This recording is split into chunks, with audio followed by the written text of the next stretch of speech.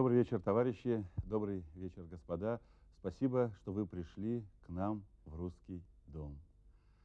Заканчивается четвертая седмица по Пасхе. Жизнь снова вошла в обычное, привычное для нас русло. Сумеем ли мы пронести вот этот очаровательный пасхальный свет через всю свою жизнь, зависит, конечно, от нас с вами, от каждого из нас. Накануне Пасхи, Великий Четверг, у нас прошел русский дом, гостем которого был митрополит Смоленский и Калининградский Кирилл. Мы получили очень много звонков и писем с просьбой повторить эту передачу, ибо многие наши постоянные зрители в этот день были на службе. Мы с удовольствием выполняем вашу просьбу. В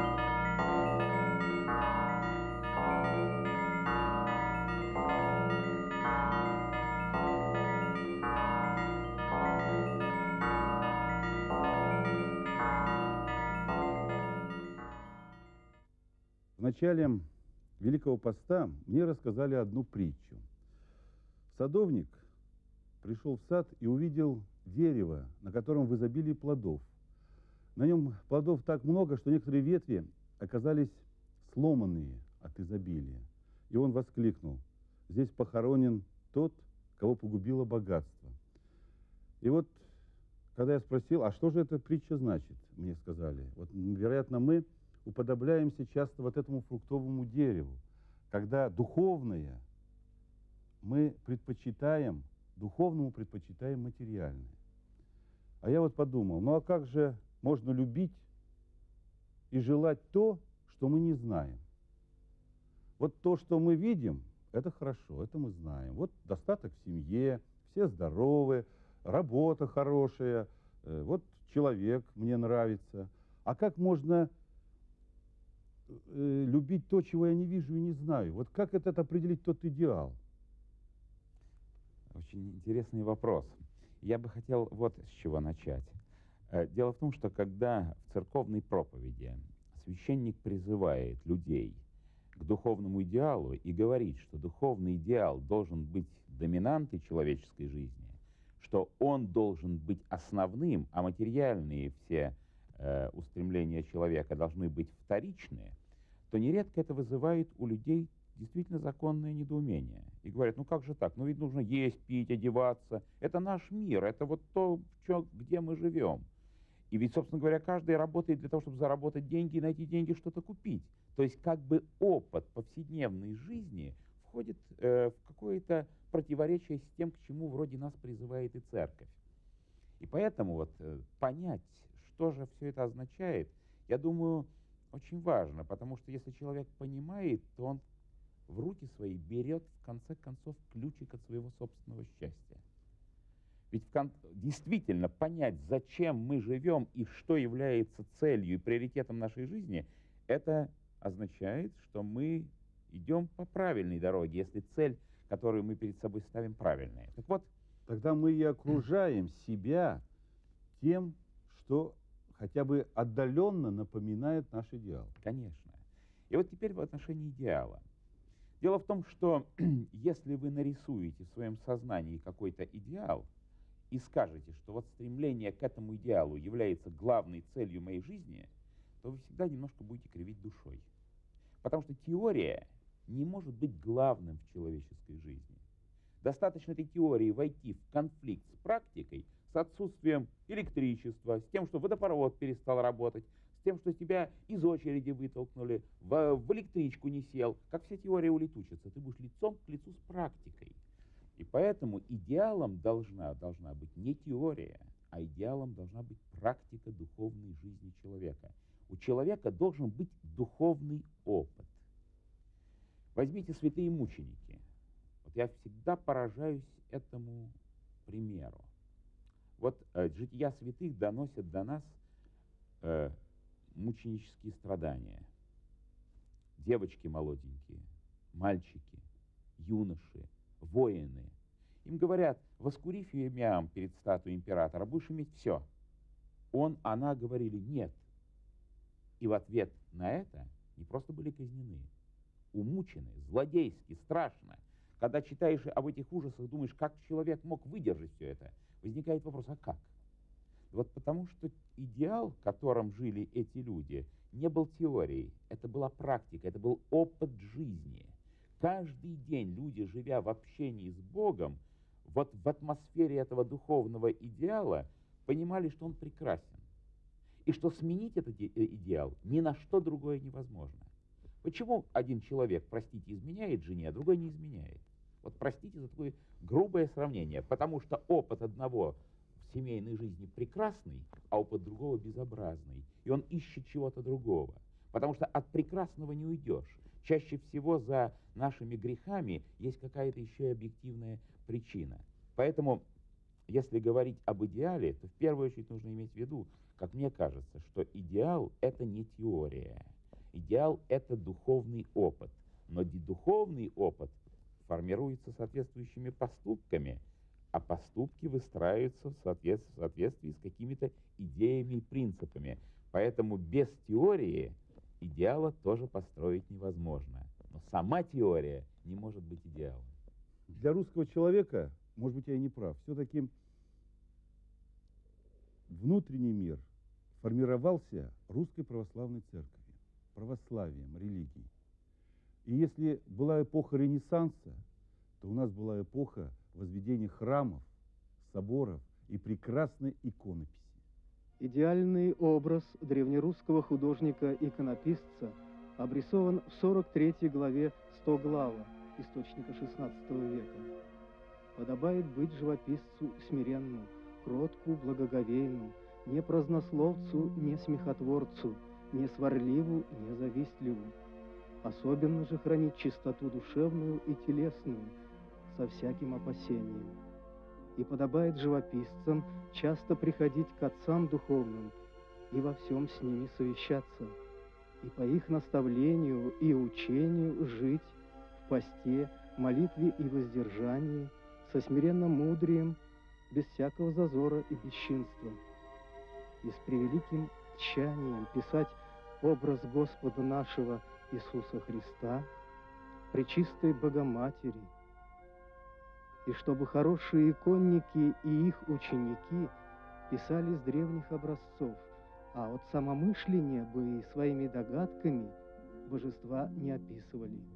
Для меня это сейчас единственное, что хочется, уподобиться. То есть слово вот очень хорошее, потому что ну, до того это все высоко, что нам только вот подняться хоть немножечко, при, при, как преподобные, уподобиться. Когда я не, был неверующий, я, для меня был Бог это искусство и все силы, и так, как бы отдавал ему. А когда пришел в церковь, стал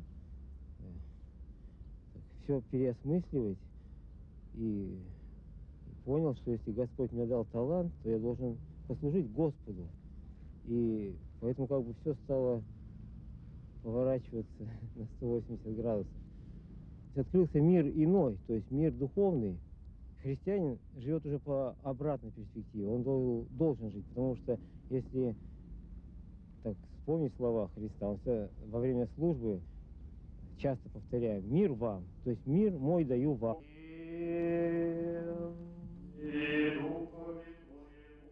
Мир духовный, истинный, прост – бесконечность его реальна, собрана сама в себе. Образы этой реальной бесконечности воплощаются и живут лишь в простейшей, конкретной, немечтательной форме. И иконопись, в противоположность живописи, не рассеивает душу в образах мечтательных, а собирает ее, сосредотачивает мысль на материально ограниченном пространстве. Поверхность доски есть тот мир, то ограниченное пространство, из которого образ сам себя выкраивает. Линия материально и реально участвует в этом оформлении. Краска, цвет, оставаясь само собой, является как бы тканью тела этого образа, обладая как бы некой материальной, воображаемой, вполне конкретной плотностью. Это и есть то иконописное тело, которое является единственным пластическим выражением тела духовного. Иконописное тело, создавшее себя через духовный сосуд иконописца, из доски, линий, краски, плоскостей, есть единственная форма по простоте своей и конкретности, способная быть обиталищем благодати. Да не в этом дело, не в дыме дело. А в чем? Не знаю. А почему глаза отводишь? Да не могу я. Не вовремя я вас прервал.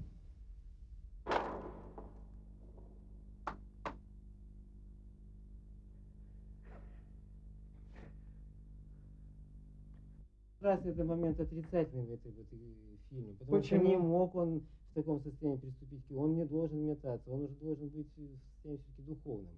Тогда только он уже прикасается. А вот, э, я, меня так поразило это вот фильм, когда он на белую стену так это бросается и в таком муч, мученичестве. Нет, тут уже муки творчества это не подходит сюда.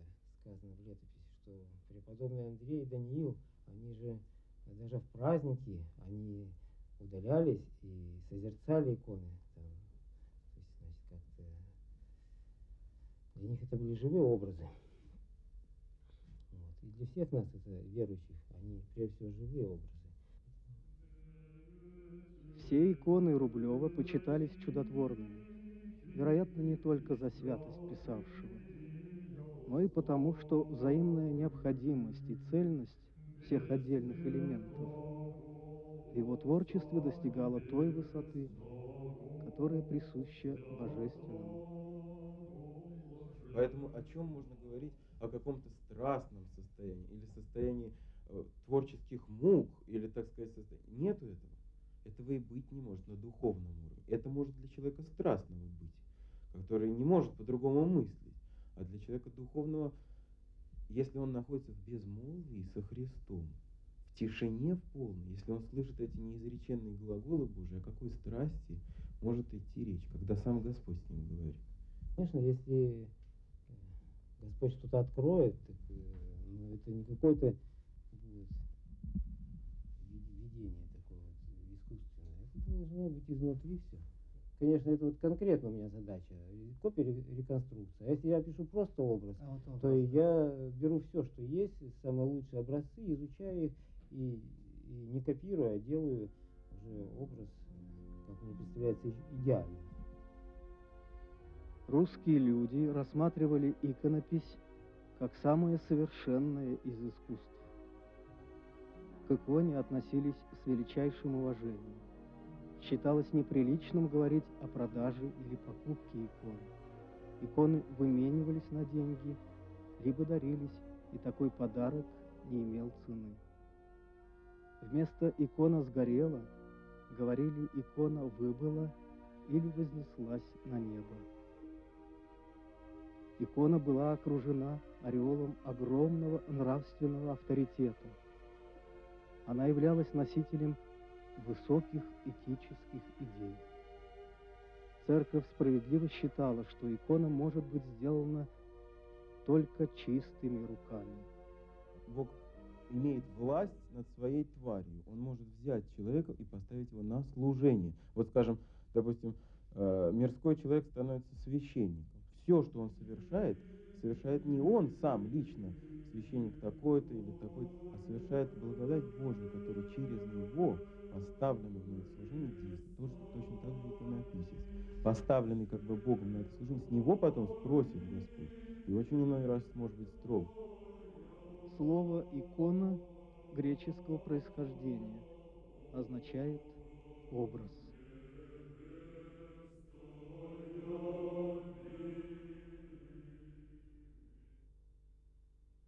Владыка, сейчас посмотрел я вот этот сюжет, и знаете, о чем подумал?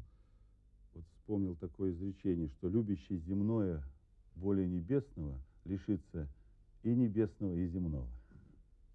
А я как раз, эм, вот смотря этот сюжет, еще раз подумал о том, о чем мы говорили с вами в начале беседы, об идеале.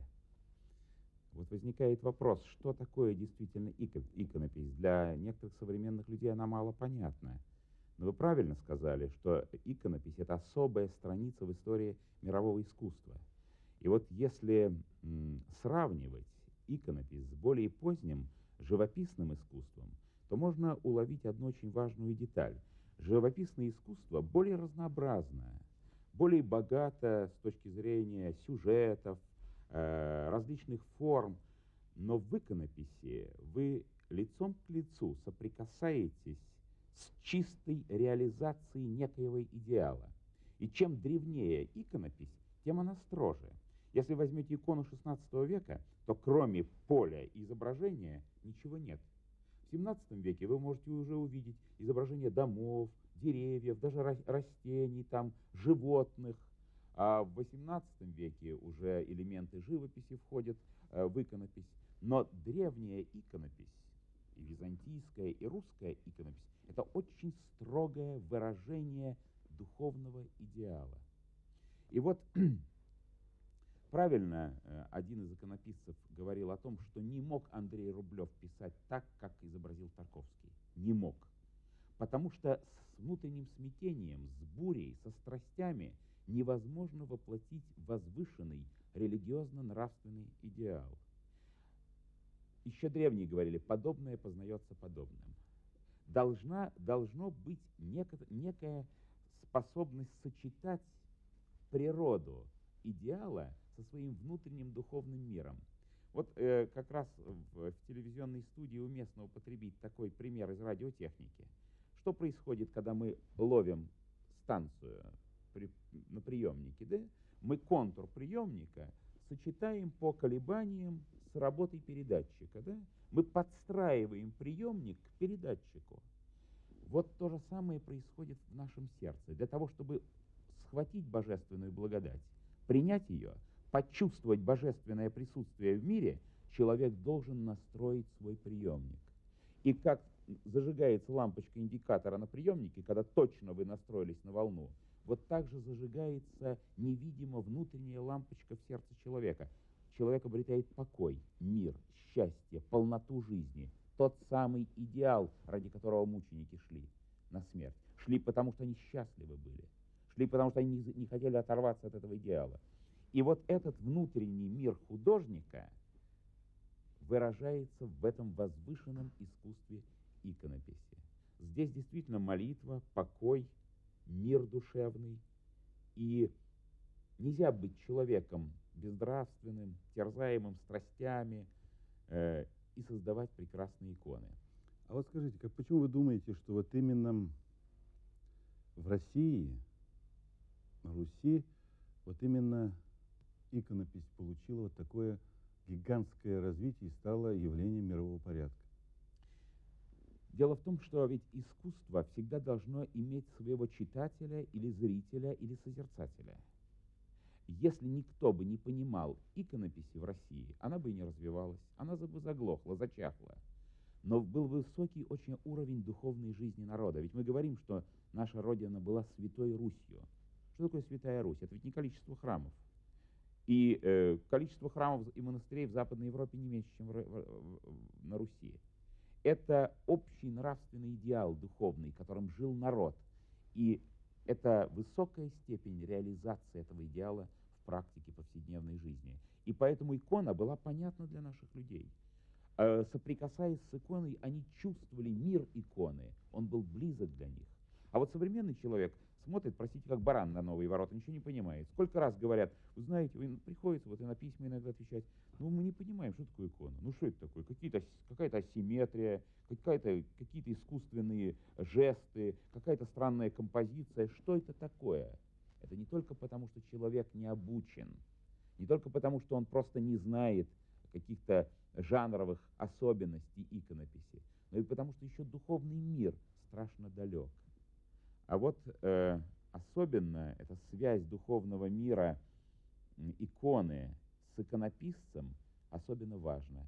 И иконописание всегда было неким духовным подвигом. И поэтому не случайно церковь многих из иконописцев, включая Андрея Рублева, причислила к лику святых. Она бы не причислила вот того человека, которого показал Тар Тарковский, которого разрывали внутренние страсти и противоречия к лику святых. Вот вы сказали, что был такой духовный мир русского человека, что он понимал икону, он жил ею. И И он стремился к этому идеалу, который он видел в образе иконы, изображенной на иконе. А вот, значит, у нас получается, что сегодняшний наш человек настолько духовно и нравственно отошел от этого идеала, настолько духовно и нравственно погряз в грехах своих, что он и создает-то вокруг себя, вокруг себя, именно то, что он внутри себя чувствует и видит. Совершенно верно. Вот сейчас еще один сюжет, но он уже к нам ближе, из нашей жизни, из которой мы только что с вами пришли вот сюда в студию. Одна из цитаделей современного искусства – Центральный дом художника. Посмотрим, что происходит в нем, а что вокруг него. Выставок тьма. Все больше современных. Хотя есть разработки привычной вечной. Потрудился художник на живописной ниве и отправился поправить свое здоровье. Много и другой всячины. Но вот вглядываясь в название ЦГРУ, галерей, направлений, задумываешься. А почему, собственно, нам вдолбили, что понятие современное – это все этакие вывихи, выверты или новые шаги в сторону пропасти, если уже не падение в нее. Хотя, в общем-то, в самой среде художников и авангард, и модерн, и пост, и перья, и нео – это уже и не писк, и не попс. О самом новом мы тоже наслышаны.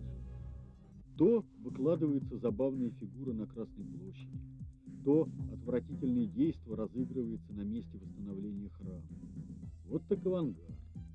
После всего такого обыватель, заметив самую, что ни на есть бытовую сценку городской жизни, подумает, а нет ли в ней какого-нибудь концептуально-сакраментального Современное значит шагающее в ногу со временем или пульсирующие с экрана, или созвучные идеям эпохи. Только вот каким идеям, какой эпохи? Не та ли это бесовщина, рядящаяся в одежде прогресса, и в образах архитектуры, нагло ползающие в города? Примеров тому не числа. Неохота показывать, скажем, эту фабрику для жилья.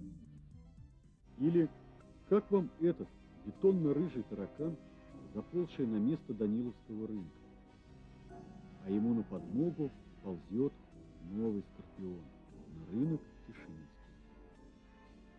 И ведь забывает отцы города, что архитектурная среда начинает диктовать свои законы жизни. Серая плита дома на набережной так и послужила надгробием многочисленным жертвопалачам, сочинителям и родителям конструктивного социализма. Тем же мрачным оттенком писали город и другие дома. Что же, к некоторым деталям мы уже привыкли, адаптировались. Что делать? Обжились. Поэтому и не удивляемся. Как это памятник известнейшего архитектора, поэта и прораба всех перестроек провозвестил рыночно-вещевой облик столицы. Хотя тот же рынок отбил в обществе охоту на всякие измы и иски. То, что прежде было под запретом, оказалось пустопорожним блефом. Людей потянуло в Третьяковку. И не нужно такое современное, где венцом художественной мысли служит черный квадрат. Лучше вечность. Владыка, я вот сейчас о чем подумал. Вот мы сейчас все знаем такую страну, современный Египет. Но живет там совершенно другой народ той страны осталось только название. И вот посмотрел этот сюжет и подумал, а вот не получится ли так, что от нас останется только название страны, а народ-то совершенно другой будет здесь жить. Это может произойти. Это может произойти при определенных условиях, но сохрани Бог, чтобы это произошло. Это значит, что нам придется отказаться от нашего прошлого, от нашей культуры, а значит потерять, потерять свою часть своей собственной природы. Но вот в связи с этим сюжетом я бы хотел вот о чем сказать. Э, я не совсем вот согласен с трактовкой, э, э, которая была за кадром, с комментарием. Да, действительно, это искусство ужасно. Но вот возникает следующий вопрос. Если искусство есть в том числе и отражение внутреннего мира художника, то что будет в том случае, если внутренний мир художника страшный, а художник талантливый? Будет страшное произведение искусства. Давайте теперь зададим вопрос. Это искусство будет подлинным или оно будет ложным? Оно будет подлинным. Ведь в отличие от фотографии, художник не просто фиксирует окружающую природу и окружающий его мир, но он пропускает и этот мир через свое собственное внутреннее содержание, он трактует это и самого себя как бы запечатля, запечатля, запечатлевает в искусстве. Интересно вот слово «объектив», верно, у камеры. Угу. Камера фотографирует. Объектив, объективно совершенно, бесстрастно, бесчувственно. Вот какой мир есть, таким она его через объектив объективно сфотографировала. Нету такого объектива у человека. Человек не способен совершенно бес, бесстрастно воспринимать реальность. Он ее воспринимает, пропуская через свой собственный мир. И если художник затем эту реальность пытается выразить, будь то э, в живописи, в графике, в архитектуре, то он непременно будет отражать свой собственный мир. И чем этот мир страшнее, тем страшнее будет произведение искусства. И вот в этом смысле у меня довольно спокойное отношение э, к самым ужасным проявлениям современной, э, современного искусства. Вот меня иногда спрашивают, вы любите абстрактную живопись или нет? Вы любите сюрреализм или нет? Я отвечаю на это так. Я не могу вам сказать, я люблю или не люблю. Мне интересно подлинное искусство. Это зеркало души художника. А в каком-то ведь смысле, вы правильно сейчас сказали, это зеркало души целой эпохи. Ну, посмотрите, соборы древности, наши кремлевские соборы и здание э, вот этого самого Центрального дома художников. Э, замечательные романские соборы Франции и небоскребы Нью-Йорка. Ведь и то, и то отражало и отражает духовный мир человека – и вот по одной только архитектуре мы можем сказать, что с нами произошло, не только с, как с русскими, что происходит с человечеством. Вот иногда нас спрашивают, есть духовный, есть прогресс или нет. Несомненно, материальный прогресс существует. Но когда вы смотрите на бездушный лик современного страшного мегаполиса, и когда вы смотрите на прекрасные творения рук человеческих тысячелетней давности, то думаешь, что же произошло с внутренним миром человека за эти тысячу лет? Да нет, произошла очень простая вещь, по-моему, это я так говорю, простая вещь, да, а по-моему, что мы живем так, будто Христос никогда и не воскресал из мертвых. И событие это такое, вы знаете, ну, было, было, не было, не было. Вот как мы живем. То есть мы вот этого события-то даже, по-моему, не ощущаем. Оно вне нашего вне, опыта. Вне нашего опыта. А раз не ощущаем, то мы так и живем. Совершенно верно. Знаем по книгам. Да. Одни верят, другие, другие не верят. верят. Но опыта, реального опыта переживания воскресения Христова нет. Ну, вы знаете, вот вы сказали, я спокойно отношусь, мне интересно, мне интересен мир этого человека. А я задумываюсь, но если так подходить, то тогда те программы телевизионные, которые идут у нас по каналу телевизора, и которые желательно, чтобы они шли в ночное время, чем меньше народу их посмотрело, или вообще не шли, значит, мы должны спокойно это тоже воспринимать. Вот тут я бы сказал иначе. Мы не должны спокойно воспринимать. Дело в том, что художник может быть хорошим человеком или плохим. Помните восклицание Пушкина о Буонаротте? Или это вымысел толпы? И не был убийцей создатель Ватикана? Извечный вопрос, совместимо ли творчество, гениальность и э, злодейство. злодейство? Так вот, несомненно, совместимо. И когда мы видим страшные, страшный лик современного искусства, то мы должны свидетельствовать о том, что это отражение внутреннего духовного мира человека. Если мы будем пропагандировать это и говорить, это норма, это прекрасно. Учитесь этому, подражайте этому, примите в себя этот духовный мир творцов этого искусства, мы погубим не только свой народ, мы человечество погубим. Но если показывая эти кошмары, особенно которые являются нам в сюрреалистическом и некоторых видах абстрактного искусства, если мы будем показывать это и говорить, вот этот страшный мир, это же мы с вами. И посмотрите Андрей Рублев с его дивными красками, с его растворенной на доске любовью, лик Богоматери. Что это такое? Это же ведь видимое выражение любви, покоя, мира, Владимирская икона Божией Матери.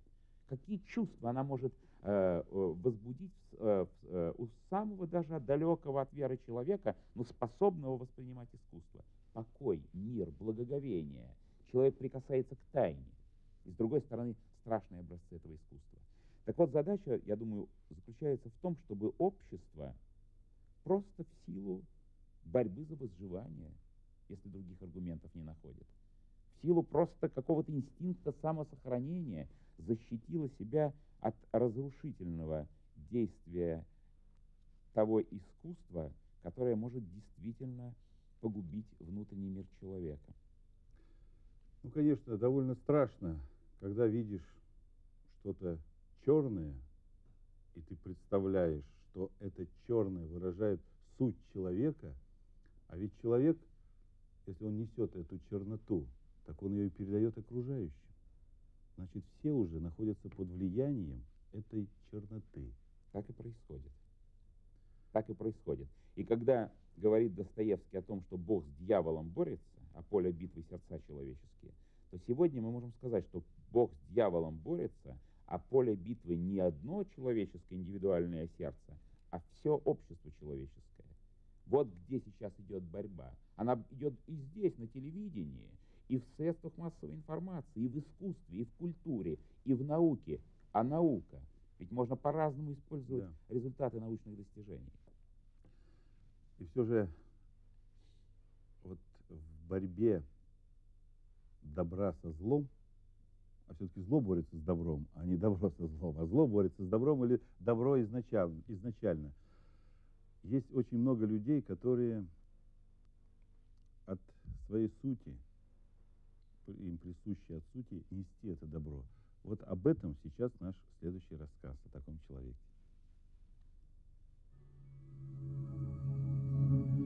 Совестливой и честной натуре художника Виктора Григорьевича Цыплакова было чуждо все фальшивое, показное. Он был стоек и крепок в своих убеждениях, доказывая преданность принципам реализма – традиция московской школы живописи, дело своим неустанным трудом. Никто не знает, как надо писать, говорил он. Это же тайна. Вот напиши куст. Какой восторг! Во всей мировой живописи этого нет. Он никогда не принимал мелочной натуралистической выписанности и говорил на свободном языке настоящей живописи – выразительным и энергичным. Здесь все охвачено движением, и Чапаевский конь, и сам командир. В жизни важнее всего человек и его земля, Родина. Молодой мастер, сын Рязанской земли, с Чапаевым ворвался в художественную жизнь страны, вызвав аплодисменты дипломной комиссии Суриковского института изящной фразой «Все сказал картиной», больше мне добавить нечего. Цыплакову выпала счастливая доля заниматься под руководством Игоря Грабаря и Сергея Герасимова, стремившихся восстановить традиционный живописный реализм. Его творчество нельзя понять вне того направления русской пленерной живописи, которое связывается в истории московской школы с именами Коровина, Архипова, Малютина – Благотворное воздействие импрессионизма сказалось и на палитре, и на стиле живописи, и в увлечении этюдными формами. Эта студенческая работа художника – подлинный шедевр. В русском искусстве, а у Цыплакова особенно, восприятие импрессионизма неизбежно получало национальную окраску. Характер русского человека – формируется природой и религией. И Виктор Григорьевич здесь классический пример. Как говорил сам Виктор Григорьевич, все свои впечатления он получил до девятилетнего возраста. А это было время, когда русский пейзаж был немыслим без храма. И э, поэтому мы в картинах Виктора Григорьевича постоянно видим все то, что всегда сопутствовало русскому человеку его душе. Его страданиям и боли. Успенский собор XVII века в разрушенном войной Смоленске, 43 год. Глубину трагедии и подвиг самопожертвования нашего народа в той войне художник мощно отразил в противостоянии героини оккупантам. Поклонимся же мученице Зои, шагнувшей навстречу своей судьбе. Поклонимся и этому образу, образу долготерпения простого народа, как олицетворение его нравственной силы. Подлинная красота, как гласят крылатые репинские слова, она вся в правде. Цыплаков умел раскрывать красоту самых простых явлений жизни. Давай закурим. Поразительная магия лица. Не люблю писать героев, признавался художник, которых знаешь день-два. Писал тех, кого хорошо знал, любил. Портрет жены. Образ наполнен внутренней сосредоточенностью, самоуглубленностью и аскетической строгостью. Верую. Сынишка, прелесть. Поэт и художник Радимов. Прелестно, не правда ли? Сей образ величали буревестником. По-моему, это просто хорошая живопись. Странные мы все-таки люди. Все стремимся переиначить, зазываем бурю. У нее развивается плащ, к тому же почти красного цвета. Ну и что? С красной преисподней он вылез, и меня так и подпирает сказать «Анкор, еще анкор». Ас. Маузер, простите, кулак против кулака. Горько, очень горько. Леонов Леонид Максимович – что связывало художника и писателя? Общая боль за происходящее в России. Грацианский из русского леса. На зло вам мы вырубим все, когда придет пора. Не пощадим ни Волги, ни любезной вам Мезине. Выкосим к чертовой матери Печору и Каму, Днепр Двину, Ангару и Енисей. И что там еще вы под полой у себя прячете? Национальное русское начало – Творчество Цыплакова выражается в неизменном тяготении художника к музыке времен года. Осень. Примечательно, что эти скромные по размерам вещи, написанные прямо с натуры, приобретают характер содержательных картин. В зимних пейзажах обращает внимание виртуозное мастерство. Не случайно этюд «Мороз и солнце» хранящийся в Третьяковке, вызвал восхищение грабаря. Он просто прыгал от восторга, восклицая «Вот это русское искусство!». Образ снежного покрова земли связывается в представлении художника с родиной, с ее стариной. Это очень важная сторона искусства художника, представившего землю, украшенной величеством сияющих над ней храмов. Творчество Цыплакова-живописца – неразрывно связано с Суриковским институтом, где он долгие годы вел мастерство, чтобы огонь не угас, и продолжались традиции реалистической школы. «Пишите светлее», — повторял он постоянно.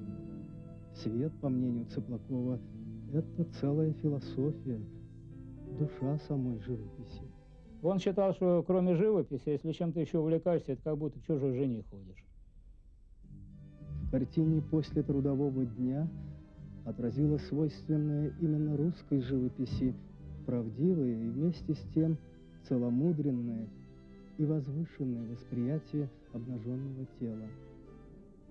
Лето красное, лето ясное, время его ухода. Виктора Григорьевича пригласили в Италию, в Ватикан. Он сказал, я не поеду. Я лучше поеду в Троицкое. Не ездил уже Пушкин за границу. Ну и я не поехал. Посмотрите, какие у нас здесь дали красивые. Горизонт аж другой выгнулся. Речка рядом, водопад шумит. Вообще мне здесь дышится хорошо. Мы шли по Косогору, поднялись на холм. Посмотри, вот лес, как дракон зеленый ползет, а когда солнце садится, вон там зажигается огненный глаз. Мы были влюблены в него, во всем в его облике был настоящий художник, старый, умный, э, мудрый, замечательный художник. Мастер. Тайна пришествия и ухода художника, тайна его жизни, неспосланная Создателем, обрамлена скорбными поворотами в безвремени, как 1915 так и 986 -го. Художник Виктор Григорьевич Цуплаков. Времена года, их вечный круговорот.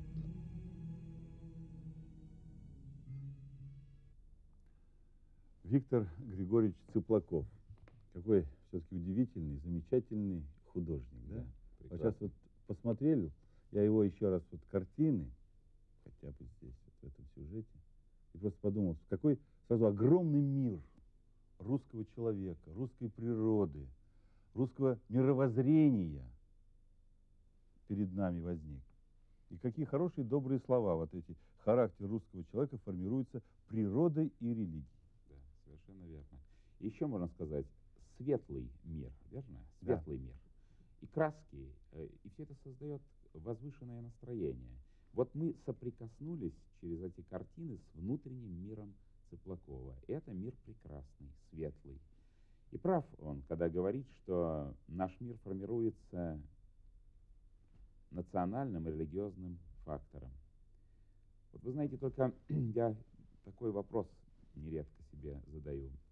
Да, конечно, иногда говорят, природа влияет на человека, народ, общество, государство. А что значит влиять? Влиять значит вызывать ответную реакцию.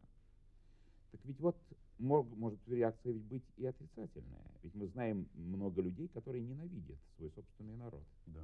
Которые говорят, это государство, никогда не скажут Россия, никогда не скажут мой народ или мое государство. У которых аллергия, знаете, вот человек не переносит. Ведь это же тоже реакция на, на, на реальность. Ну а животный пещерный э, атеизм, который приводит людей, я не знаю, в судорожное состояние, потерю равновесия при одном только упоминании о церкви.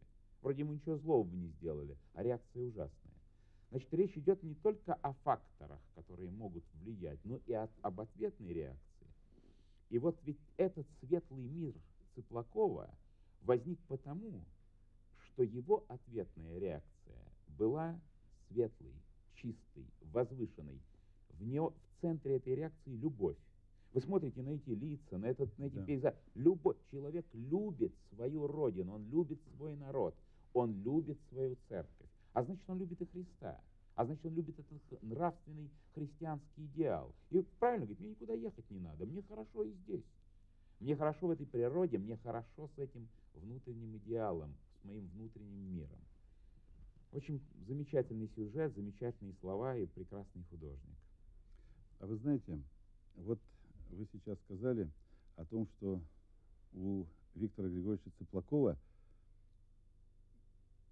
ну, такое, что ли, он видит, он видит добро, он любит добро, и от него идет добро и светлость.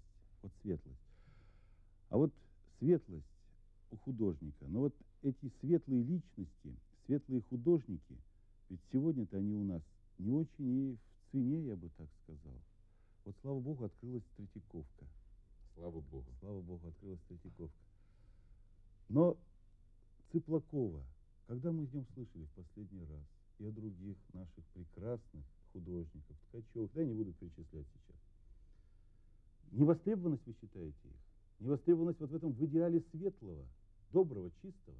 Огромная потребность у людей, огромная потребность.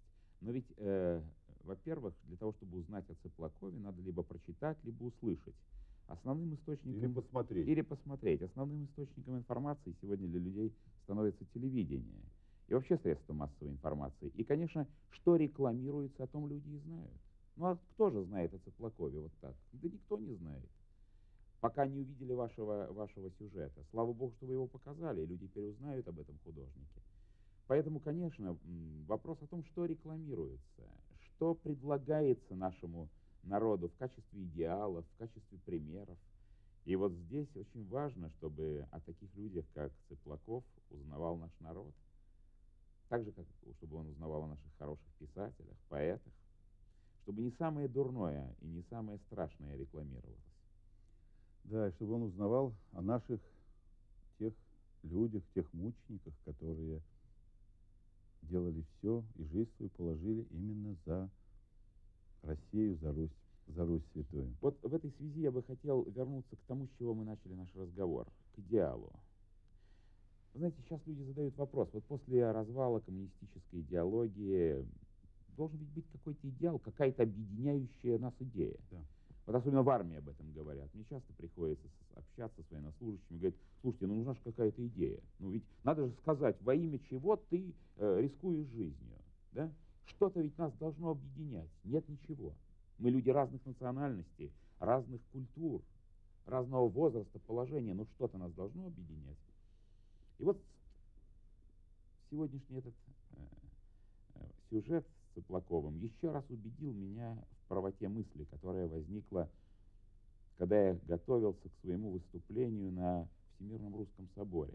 Меня спроси, спросили, скажите нам, как вы видите вот идеал, объединительную идею, общенациональную идею. И вы знаете, я убежден в следующем. Этот идеал должен формироваться из двух составляющих. Это должна быть любовь к своему народу, к своему отечеству. Это должен быть непременно патриотический идеал.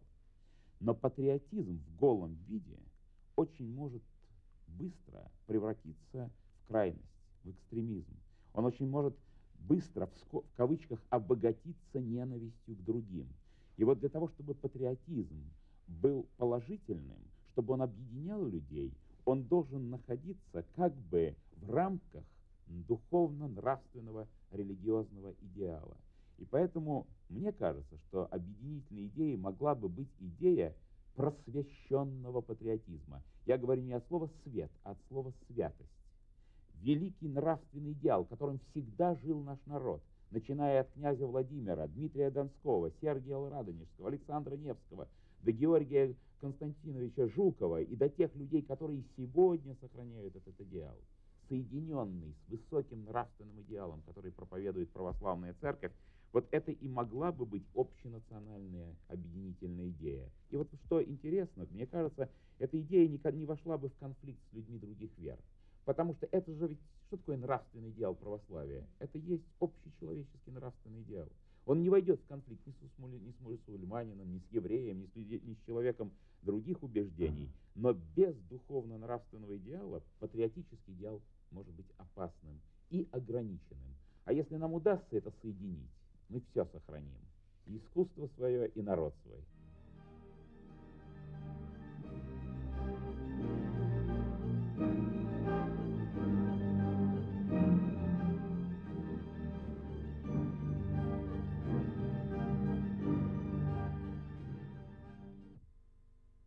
Просвещенный патриотизм, просвещенный от слова святость. Святая Русь, русский дом, Россия.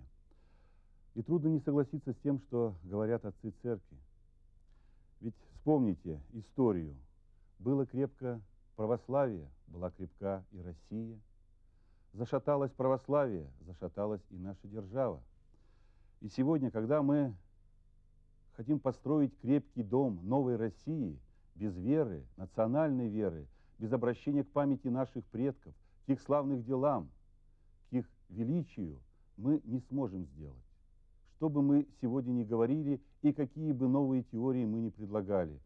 Вот прошел праздник 50-летия Победы, и тоже говорилось об этом, что без обращения к памяти наших предков, к их делам и славе, без обращения к истинной русской православной церкви вряд ли бы мы праздновали 50-летие Победы.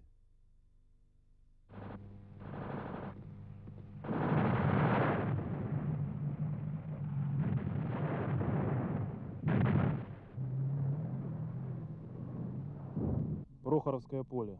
Даже спустя 52 года эту землю страшно трогать. Здесь, особенно в лесополосе, можно обнаружить снаряды, гранаты, останки погибших бойцов. Массированное наступление немцев под названием «Цитадель» встретилось на этом поле с другой цитаделью, крепостью духа советского солдата.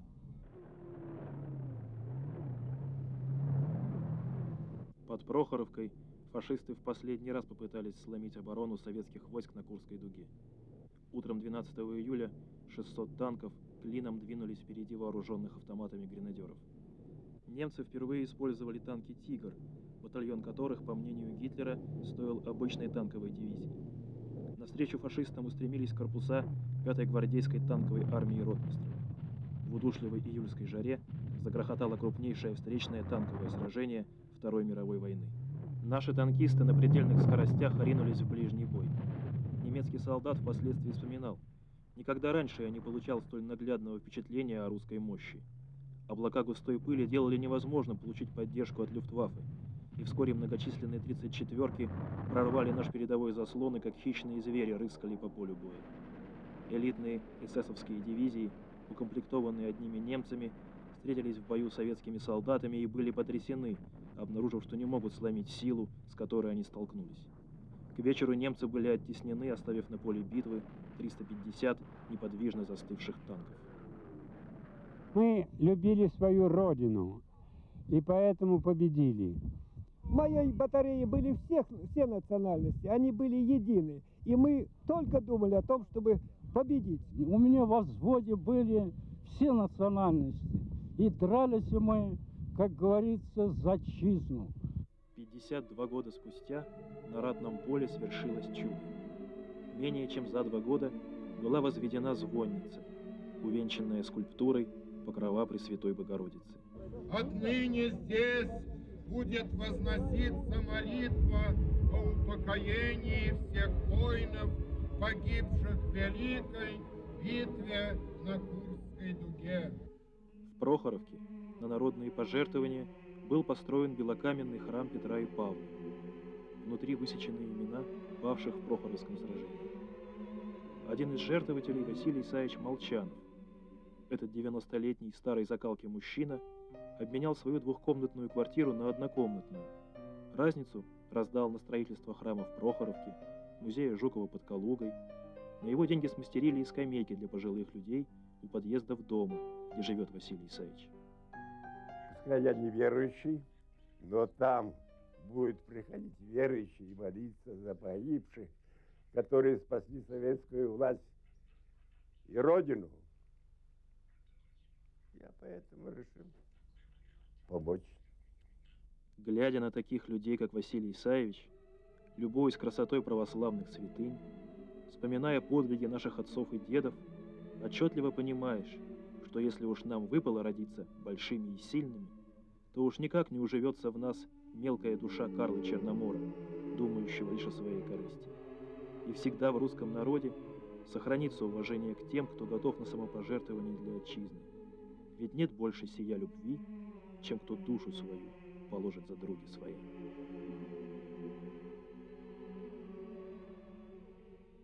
Спасибо, что вы пришли к нам в Русский дом, нашли время.